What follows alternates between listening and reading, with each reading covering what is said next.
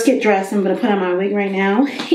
it's because it's a two-in-one, you feel me? It gets the whole entire job done. This wig I have not curled in a minute, but somehow, some way, it be doing what it needs to do for me. it just, the way that it just waves sits a little bit bumped in a way that is satisfactory for me.